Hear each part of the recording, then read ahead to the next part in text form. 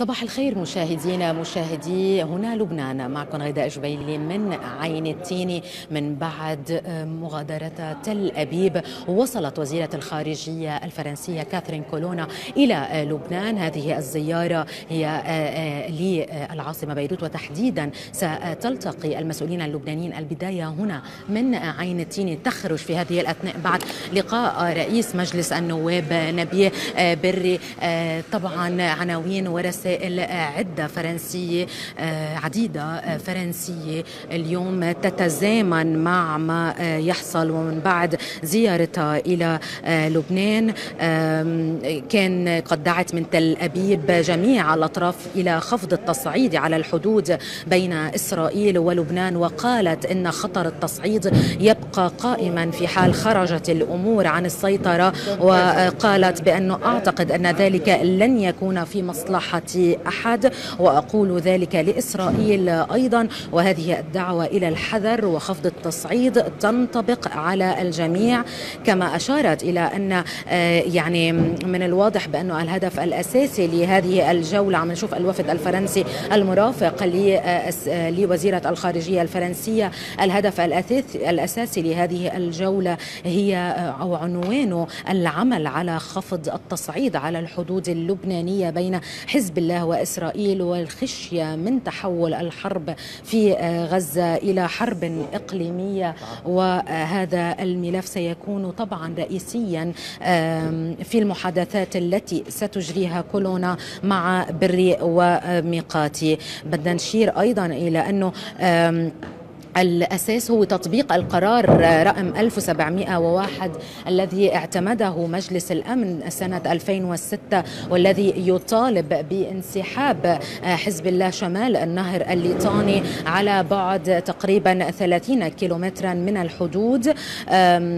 يعني فينا نقول بأنه هيدا أساس هيدي الزيارة اليوم. البداية كانت من عين التيني. كانت قد التقت رئيس اليونيف اليونيفيل والبعثة الفرنسية لليونيفيل في بيروت. كان من المفترض بأن تكون في جنوب لبنان إلا أن ولدواعي أمنية التقته هنا في العاصمة بيروت. ومن بعد تكون يعني ستزور وزيرة الخارجية الفرنسية السراي الحكومي وستلتقي الرئيس رئيس حكومة تصريف الأعمال نجيب ميقاتي عند الساعة الرابعة. من بعدها سيكون هناك لقاء أو مؤتمر صحافي عند الساعة الخامسة إلا عفوا الخامسة والأربعين دقيقة في قصر الصنوبر كان من المفترض بأن تكون هيدي الزيارة الفرنسية اليوم كان من المفترض بأن تحصل نهار السبت إلا أن كولونا لم تأتي إلى لبنان وذلك بسبب عطل بطائرتها لذلك هي كانت قد أرجأت هذه الزيارة إلى اليوم نهار الاثنين وكانت الأحد كما ذكرنا في تل أبيب. طبعا رسائل عديدة بتتزامن مع يعني استمرار التصعيد في جنوب لبنان. عنوان الأساسي لهذه الزيارة هو القرار 1701 وضرورة اليوم إبعاد آه، ال التوتر عن جنوب لبنان وذلك يعني رفضا لاتساع رقعة الصراع لما يشمل ربما حرب شاملة في المنطقة، اليوم الفرنسيين إلى جانب الأمريكيين عم يسعوا دائما إلى عودة الهدوء, الهدوء إلى لبنان، كنا قد استمعنا بالأمس إلى المؤتمر الصحافي من تل أبيب وكانت قد حذرت من استمرار الوضع على ما هو عليه بين لبنان وإسرائيل، طبعا رسائل عدة ربما سيكون ملف الرئاسة على طاولة المحادثات بين الرئيس بري وأيضا الرئيس ميقاتي مع وزيرة الخارجية الفرنسية.